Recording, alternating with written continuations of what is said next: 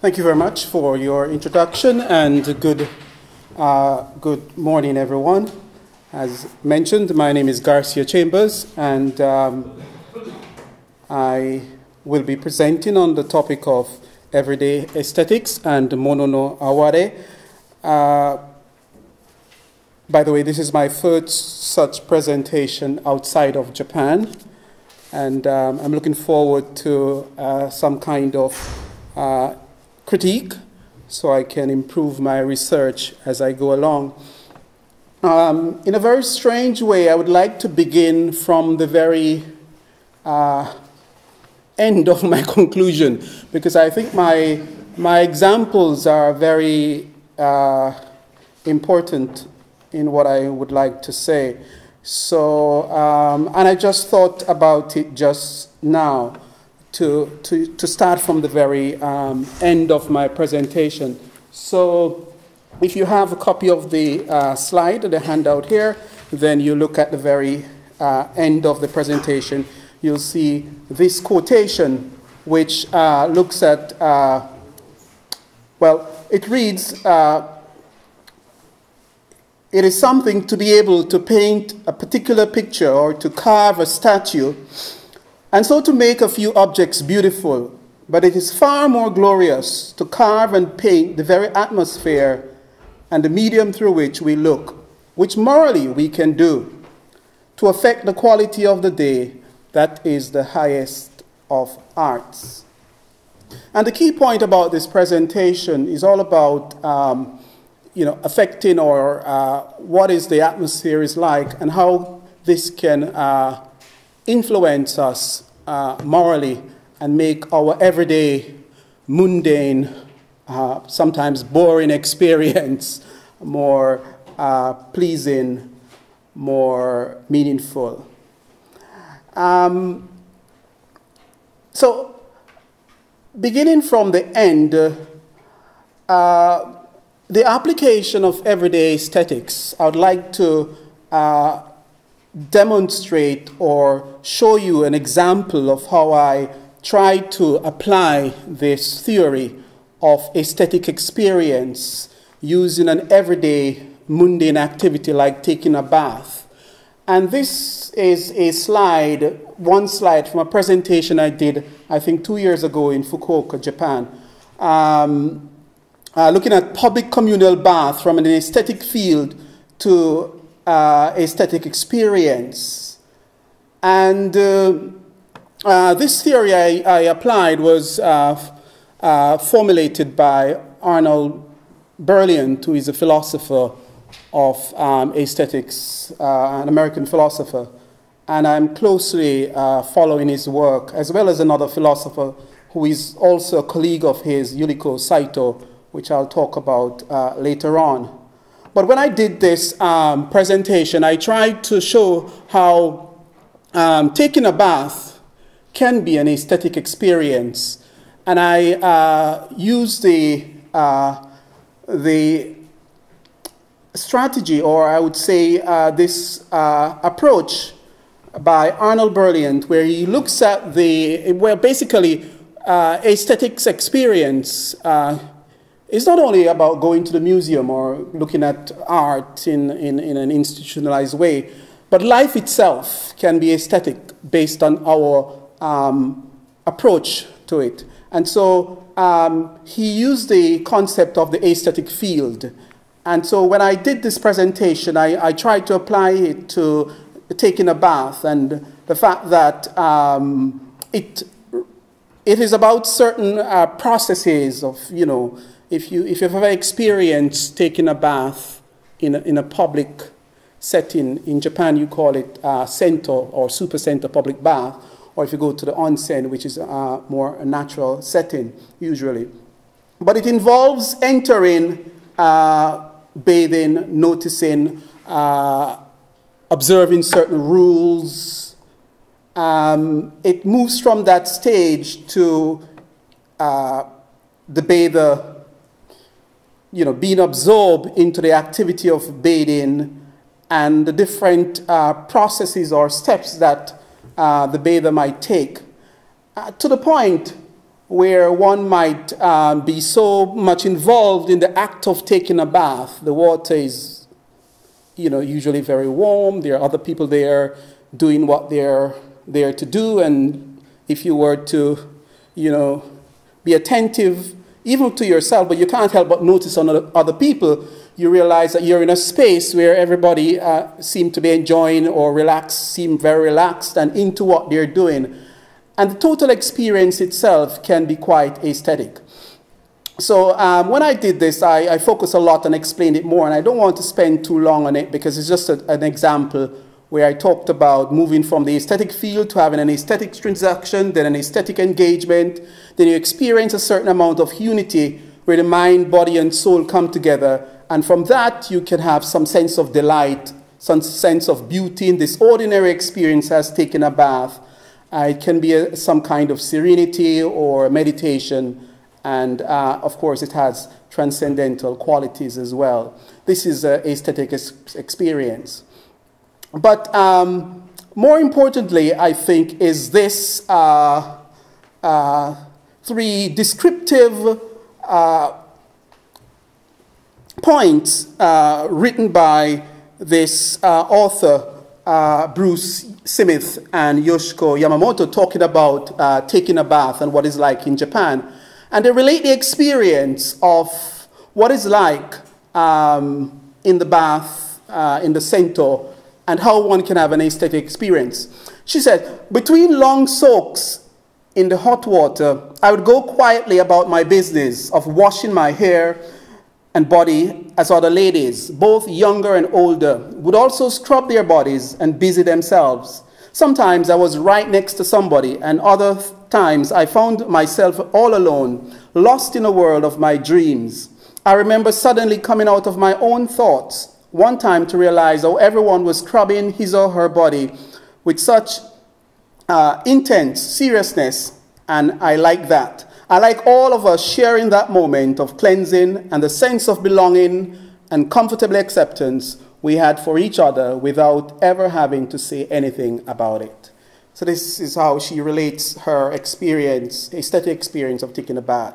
She continues, uh, where she says, with all of us naked and bathing together, there, is, there was a sense that we were, after all, just humans, all trying to live as well as we could. And then finally, this one's very interesting. I remember one evening covertly watching a middle aged woman clean and wash her face that had been covered with heavy makeup. When I finally saw her face cleaned and scrubbed, suddenly I felt like telling her that it was beautiful, that she didn't need to cover it. This, for me, just reading it itself, I don't have to be there, uh, but reading it and uh, thinking about it for me is an aesthetic experience. Um, so this is the first example of, uh, I would say, an everyday aesthetics, and uh, uh one can have an aesthetic experience uh, doing some ordinary activities. Another key point and a key example that I would have talked about in my conclusion um, is taken from uh, maybe a book that is familiar to you. It was written a long, long time ago, Norway no Mori, uh, Norwegian Woods, um, Murakami Haruki. And there's a line in it um, which I thought uh, was very, very interesting, and it captures a feeling of, um, or a sense, or a sensibility about Japanese um, own uh, aesthetic, uh, uh, one aesthetic, I would say, quality or principle of Japan which, which focus on feelings. And later on, when I talk about Mono no Aware, you'll get a sense of what I'm talking about here. But um, the background to it is quite um, simple, where Toru, the protagonist, was all um, sad and wandering in Shikoku and uh, hungry and on the ocean, uh, lying along the beach and uh, very distraught. But um, the, the, story went like this, that a, a fisherman saw him and you know talked to him and what's going on and gave him sake and a cigarette and he, they ate.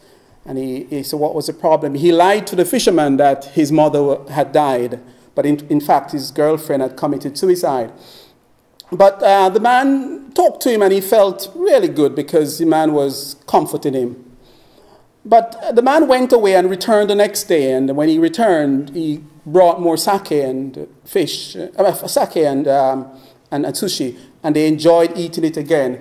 But something happened when the old man or the fisherman was about to leave. He took 5,000 yen, 5,000 Japanese yen from his pocket and pushed it in Toru's pocket and says, Here's some money. Go and get yourself a bath and, you know, stay in a hotel, and tomorrow there's enough to go back to Tokyo. And uh, this is the scene how uh, Toru responded to the old man, uh, the fisherman, and what the fisherman said after that. And I thought this was capturing of, uh, because part of everyday aesthetics is also about how we communicate with each other and how we think about each other's feelings, which, also, which is also part of um, Japanese uh, aesthetics that I'm looking at here. Um, he said, I said he had done more than enough for me, and I could not accept the money on top of everything else, but he refused to take it back. It's not money, he said. That's the old man said that. It's my feeling. Don't think about it too much, just take it. All I could do was thank him and accept it. That point there, well, first point is when it was 5,000 yen, Toru could refuse it and say, Oh, I can't accept this money.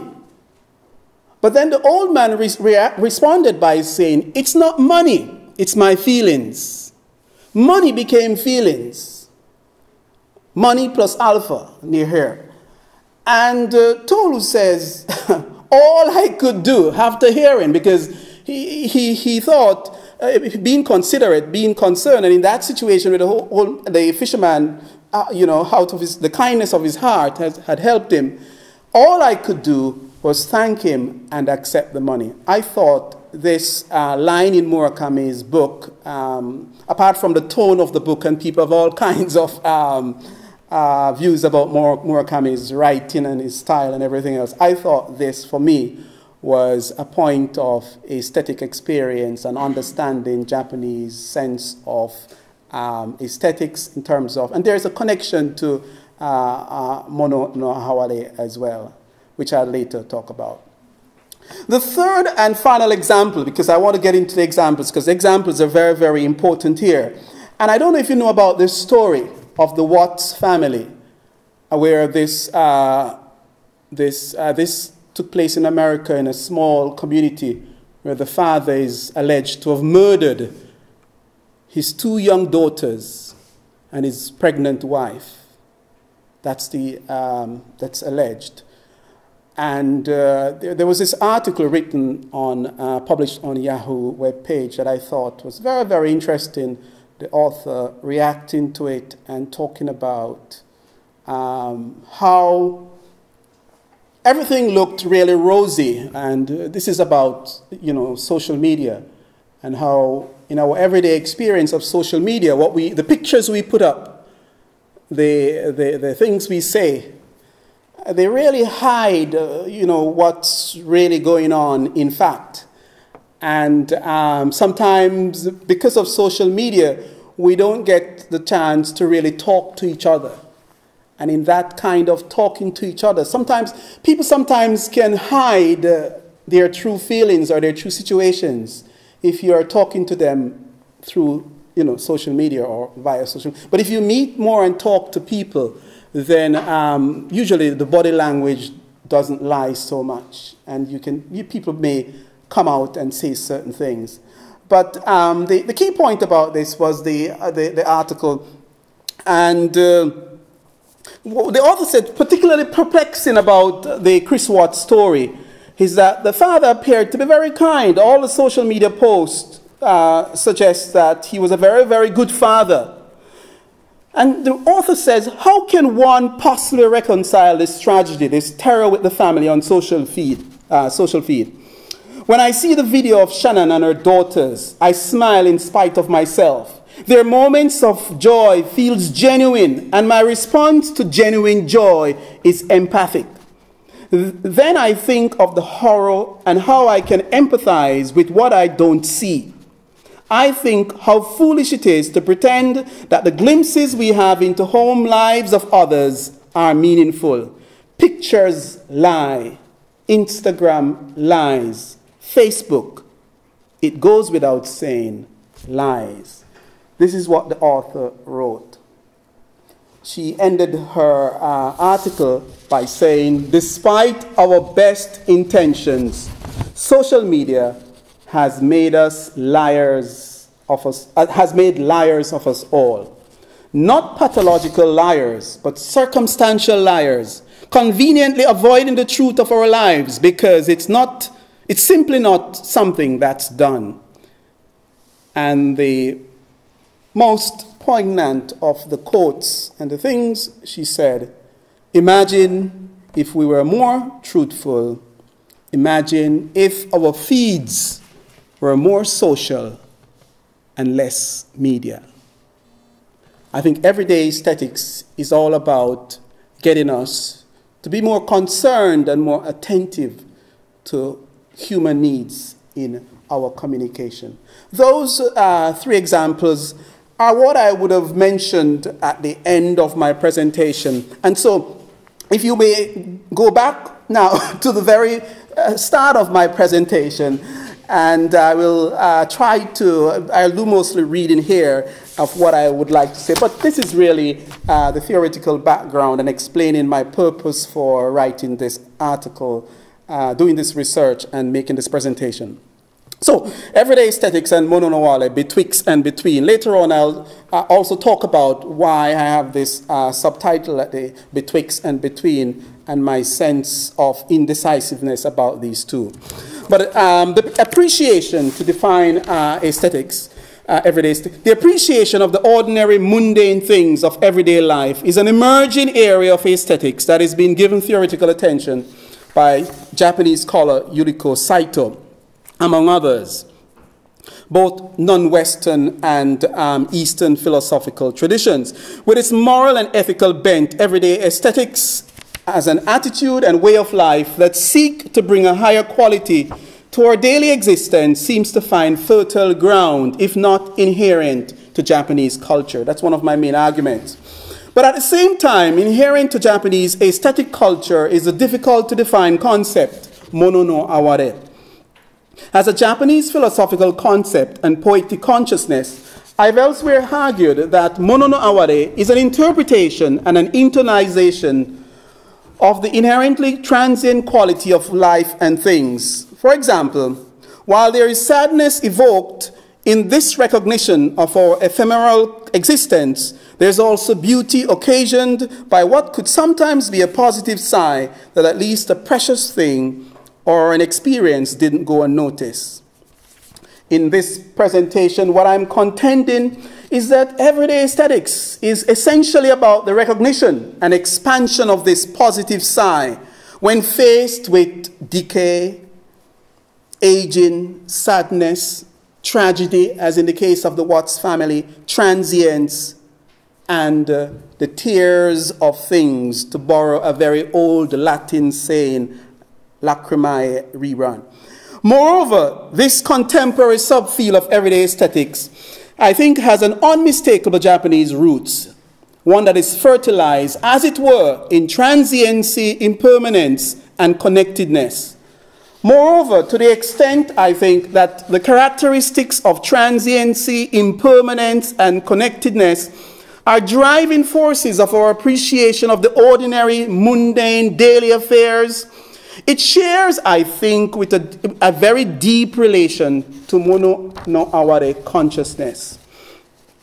It is the points of convergence betwixt and between these two ostensibly traditional, on the one hand, and contemporary aesthetics concept or sensibilities that my presentation is trying here to theorize. In doing so, I hope which I did earlier, to show examples of how an everyday aesthetic attitude and a mono no consciousness can symbiotically lift our quality of daily existence. Above all, Yuriko Saito's perspective on Japanese aesthetics and its moral dimension is one that I'm fully much in agreement with. She talks about cultivating moral sensibilities, for example, in respecting the innate characteristics of objects and honoring and responding to human needs.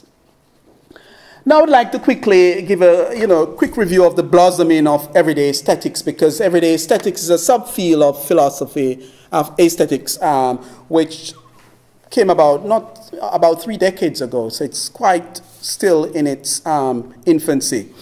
Everyday aesthetics as an aesthetic, um, everyday aesthetics or the aesthetics of everyday life emerged in Western philosophical circle as a counter to and a criticism of what was hitherto an almost entire focus on fine arts as the proper subject matter of aesthetic study, theory, and experience.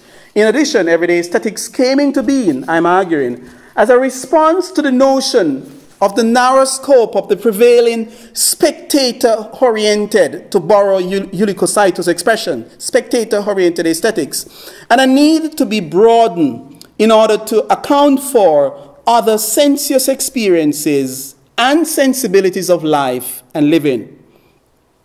To say this in another way, an action oriented aesthetics, Saito among others have argued, which defies the dominating and traditional Kantian disinterested approach, has brought inclusiveness and a democratizing spirit to the study, theory, and practice of sensuous life. In this way, I think honoring the Deweyan to, uh, in terms of uh, uh, James John Dewey, notion that art and life are inseparable. Arnold Berleant, who I talked about earlier, was very pointed in his criticism when he argued that aesthetic experience pervades the many regions of life, from practical activities devoted to food gathering, craftsmanship, to ceremonial observances and other social occasions. We must abandon the ethnocentric assumptions of modern Western aesthetics that restrict art and the aesthetic to the careful circumscribed objects and occasion. The concept of art is more inclusive than Western aesthetics has allowed an aesthetic experience far more pervasive. Moreover, I think aesthetic um, aesthetics Everyday aesthetics emerge as a subdiscipline of aesthetics, occasioned by what is called a philosophical meeting of the East versus the West, or East and West. This may be considered a crossing of boundaries, or perhaps more correctly, a yielding of Western aesthetics to the Eastern reality that aesthetic is pervasive, touching every aspect of life. Whether this is theorized as an as the extraordinary in the ordinary, or simply the beauty, pleasure, gracefulness, kindness, or joy that attend to the ordinariness of our quotidian existence, or quotidian rather existence, everyday aesthetics is a blossoming discipline emerging in Western philosophical circles, though organically rooted in Eastern holistic philosophy. So, how might we account for this blossoming of everyday aesthetics? To answer this question, I turn to Arnold Berleant again.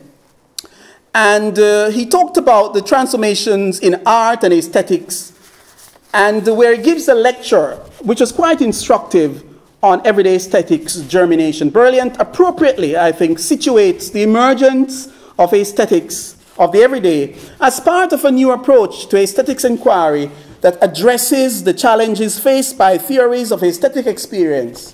One central challenge of aesthetic theory has been how to account for the fact that aesthetic values belong not only to the environment of objects in traditional Western dualistic, spectator oriented, art based sense, but also within the situations of environment, situations that include human relationships in which active engagement can lead to aesthetic experience. It is this, in brilliant words, recognizing that the heart of aesthetic lies in sensibility, and therefore developing awareness and the capacity of aesthetic sensibility leads to immensely broader and richer social experience. Now, after pointing to its antecedents, which are environmental aesthetics and the aesthetics of nature, Berleant cites John Dewey's art as experience as a contemporary intellectual foundation of everyday aesthetics. Interestingly, Liu Yuedi, if I pronounce this name correctly, and Curtis Carter pool Heidegger and Wittgenstein, Wittgenstein with Dewey as the three most important philosophers who cleared the way, as it were, for everyday aesthetics blossoming.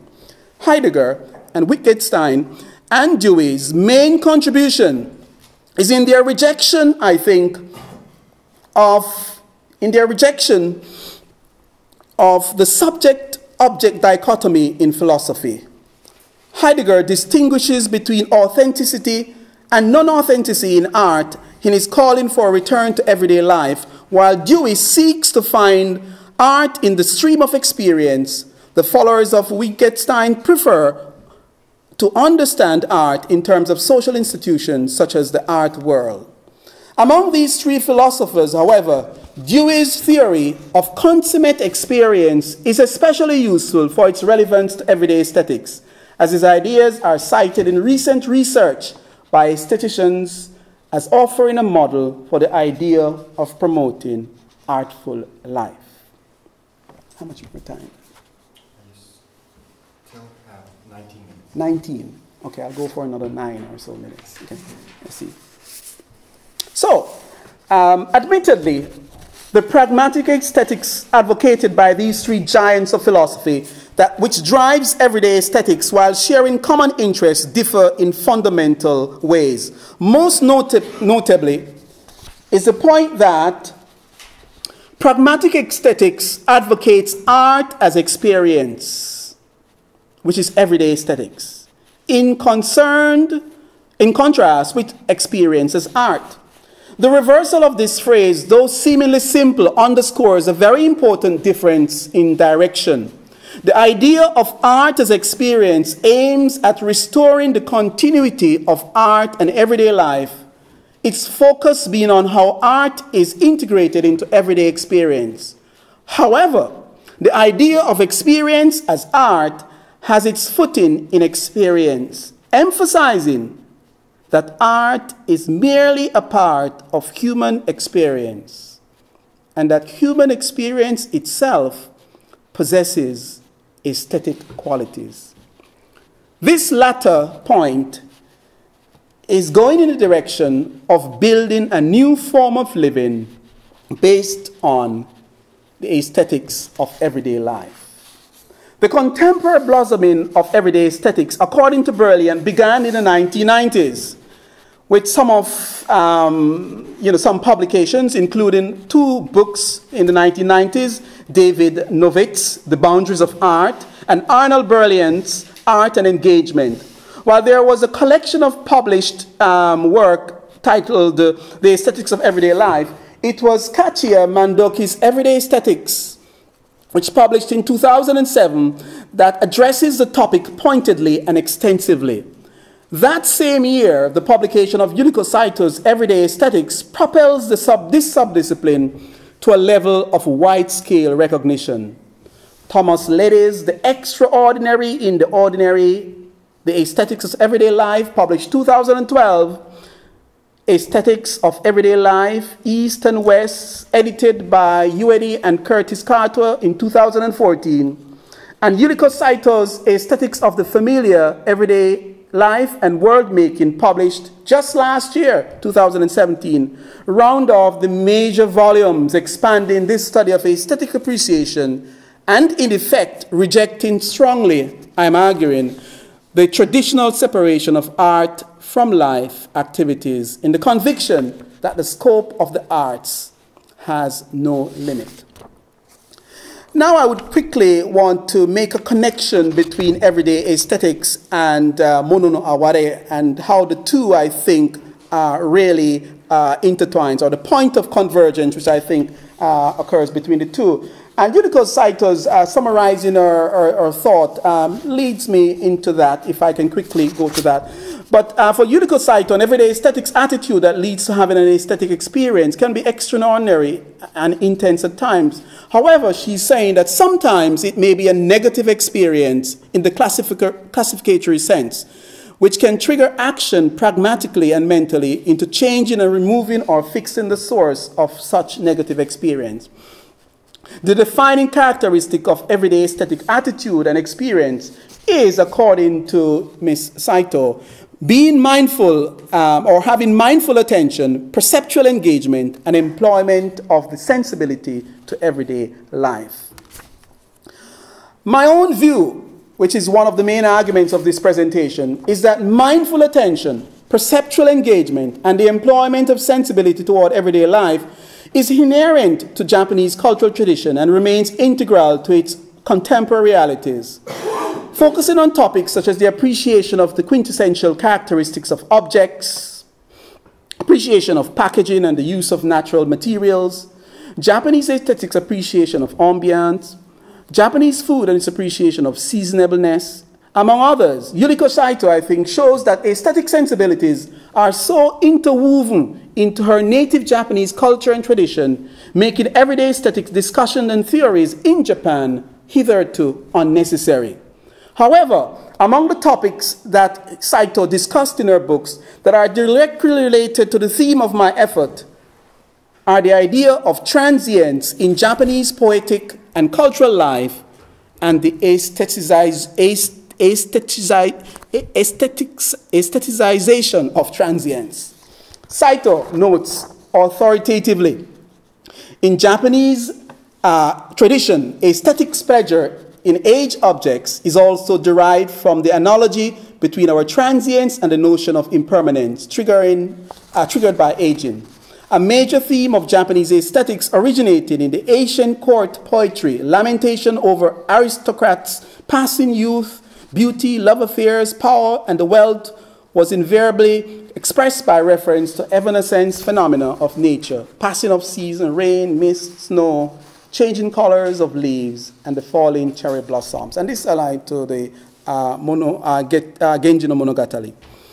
Um, everyday aesthetics and mono betwixt and between. I think numerous scholars have focused on what is uh, mono no aware and its connection to um, Notori Morinaga, Motoori Norinaga, and how his motive was political in trying to promote uh, Japanese uh, uh, native uh, or difference between Japanese approach to aesthetics and uh, Confucian values that had imported from China. And, uh, but there are many other works that have been produced and many research on Mono Aware, which I won't get into right here. But just to define Mono Aware, myself, I did a present, I, did, I wrote an article on that um, way back in 2012, and that was in reaction to, uh, which I thought that the 2011 triple disaster in Japan, whereas in Japan, um, there's a tendency to have a, you know, kind of, they call it omoiyari, uh, considerateness, to think about others. And if, when it's time of tragedy, people tend to do, uh, to tone down celebration. But I argued um, in that paper, and this was my first paper in aesthetics, so to speak, was that um, Mono no Aware and uh, Hanami, Hanami, I think, the deep meaning of Hanami is Mono no Aware. And it's about observance of the transient quality of life. But there's also a celebratory aspect of Mono no Aware. But I, I mentioned in that article that 2011 was a mono hourlesque moment. It was a perfect time to think about life and its ephemerality and to think about how we bond with each other and how we communicate and attend to the needs of others. And uh, I, I, I, would have certainly a lot more to say. Uh, there are other definitions of mono aware which goes on and on. And there's a point that uh, I don't want to seem as if I'm essentializing that um, transience and the whole concept of transience is totally an Eastern uh, concept because way back in 19, well, not long ago, Sigmund Freud wrote a famous, uh, well, it's not so famous, but a very interesting essay on transience, which he's talking about the fact that he was walking in the garden with a friend and look at the, he was saying, look at these flowers that they look so beautiful, but in no time they will, you know, wither and, and go. But, and he talked and said, uh, well, this is all the reason that we should celebrate it, the fact that it will not be here soon. So, and then uh, Mono no Aware, we may have a sense that it's totally a, only Japanese can feel or experience mono no aware. And uh, Donald Richie, in, in a very interesting uh, essay, mentioned this point. Uh, we can all experience aware. All of us do not seek to define it, but Japan does. And I think uh, to that extent, the concept of everyday aesthetics, it's, it's born in the Western uh, philosophical aesthetic tradition, but, but at the same time, it was inherently rooted in, in Japanese tradition. So I think it, it shows that there's a, it's, it's all about humanity, the, the bottom line. And I'm not arguing that uh, Mono no Aware is essentially about Japanese aesthetics, feelings.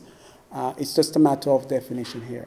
I think um, that's enough in terms of allowing time to, to answer any questions you may have. I'm sorry.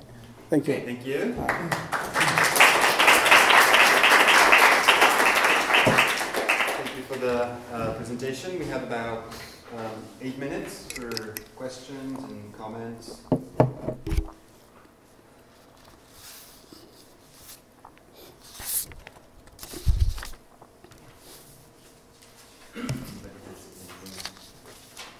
I, I, I don't, I don't want to start, but um, well, um, uh, what your talk was impressive, Mhm. very fast. Mhm. Um, Yes, yeah.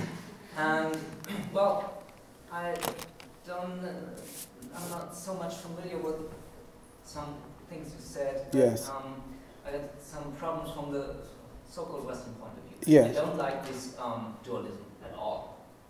And but you brought it up, so um, um, you talked about a problem, uh, uh, Kant.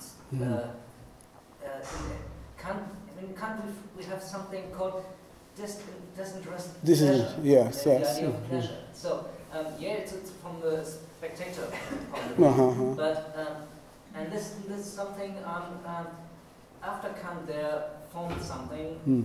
what is called the romantic aesthetic. Mhm. Um, we have the idea of Kant uh, uh, um, taken into into the real life. So Mm.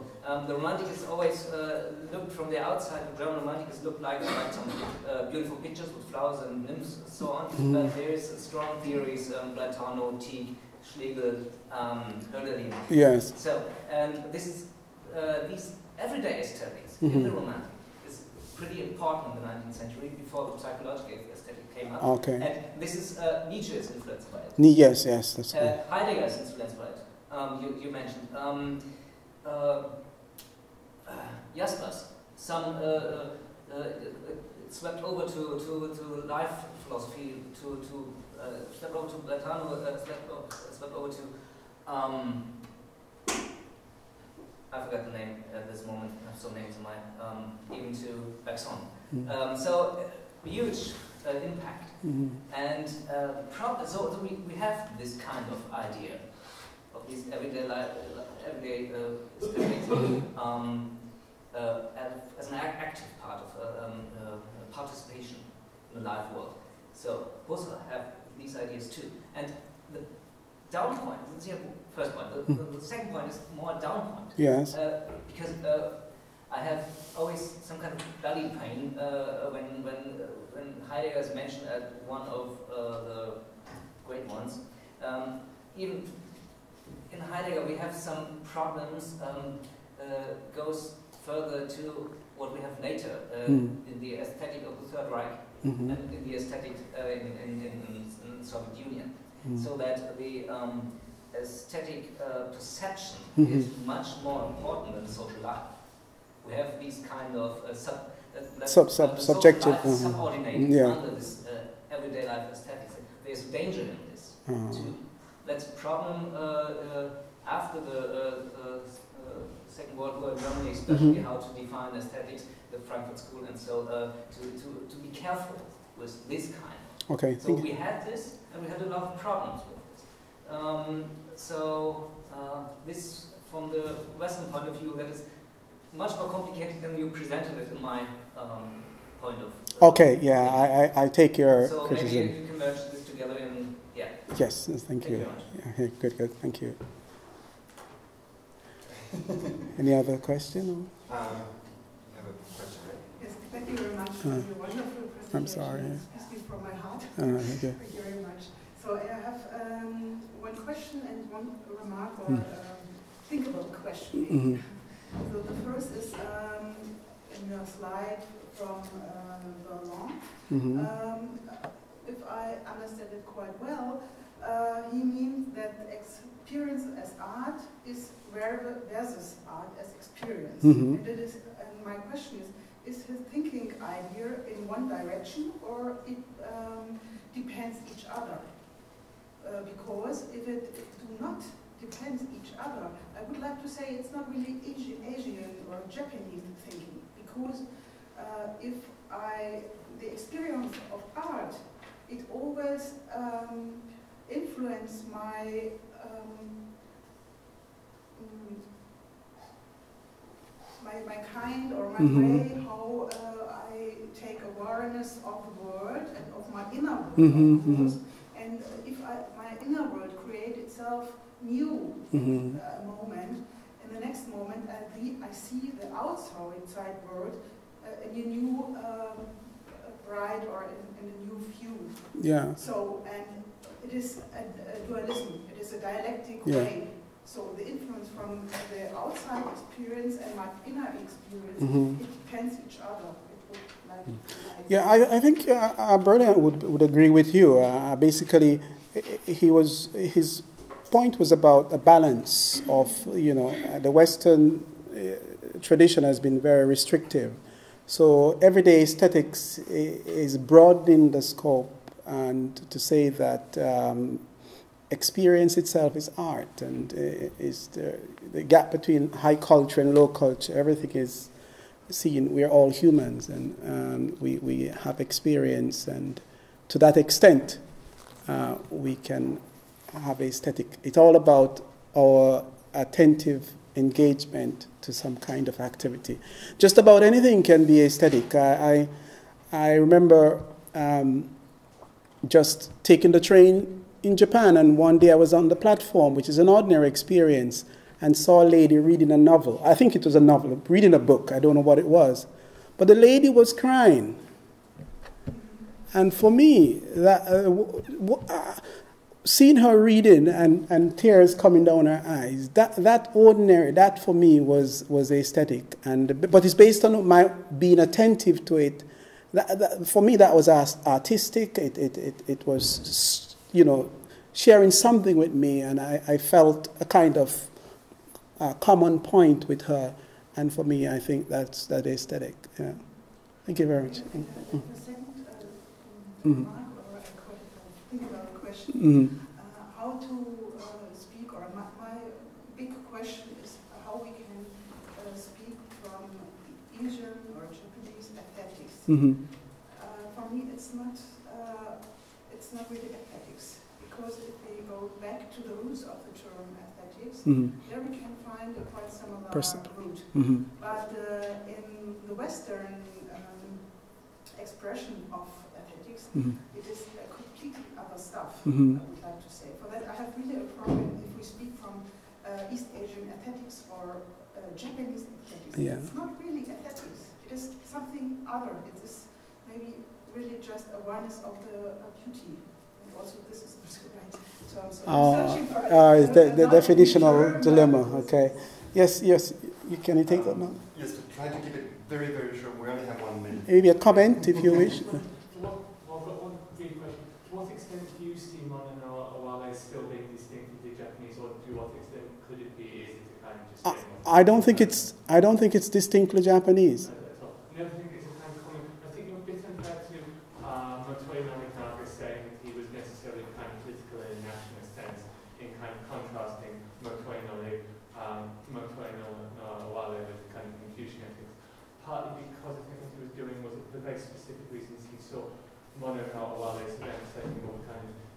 spontaneity um, against the kind of rigidity and hierarchy of um, Confucian aesthetics. And I think perhaps looking to Mono no Aware could be a way to get around this very kind of this sort of threat of kind of Ah. authoritarianism and uh, totalitarianism because it emphasizes kind of immediate experience of the day-to-day as opposed to a kind of stamped order. But it's bearing in mind the Japanese nationalists took a lot from Confucianism, much more so than Motoya no, uh, uh, Nobunaga did. Uh-huh. Although he, he was critical of the, the Chinese, I wouldn't call him a nationalist. But anyway, I'm sorry. Thank you. If you, if you have a quick. Uh, No, no, I, I, I totally agree with, with his point, and Okay. um, Okay, yeah. I'm sorry to interrupt you in the. we can talk uh, more about it. Yes. Okay, um, I know that there was another question, I- but Okay, I I think think, yeah, for Mm. the, for the coffee break, okay? Um, thank you again for the, for the Thank you very much. presentation. Thank you.